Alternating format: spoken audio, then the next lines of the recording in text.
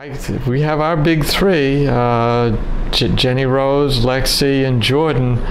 Uh, they played tons of minutes last year. Uh, they've come back in great condition. Uh, they're battle tested, um, elite basketball players. Uh, along with that, we've got solid returners like Shannon and uh, Marissa, uh, are really, you know, battle tested and experienced, and they know what Division three basketball is like. So that's going to be kind of our bedrock for the team. We're breaking in five freshmen. Um, going to be having people sharing positions. Um, and that's what we're kind of learning about now is learning their skills. And they've been thrown into the fire in the scrimmages and they've done really, really well.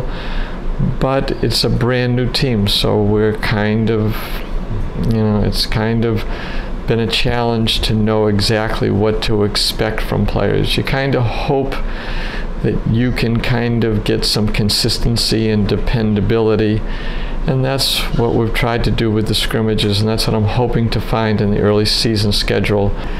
Goals, well, I mean, you know, it probably is foolish, but I, every year that we start off, uh, our goal is, is, is to win the whole thing. We want on February 23rd to be on the floor playing for the GNAC championship. That's, that's always our goal.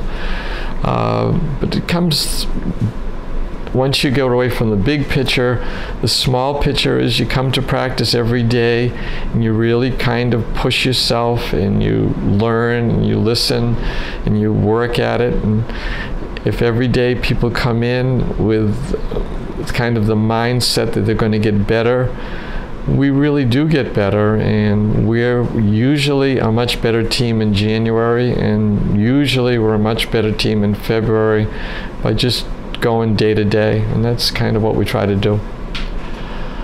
Oh, at this time, I'm I'm I'm nervous as hell. I don't know what to expect as far as the, the season's concerned, but um, you know, I love being with the kids on the court. It's it's really. Uh, a terrific experience. I, I, it's, it's great being part of a team.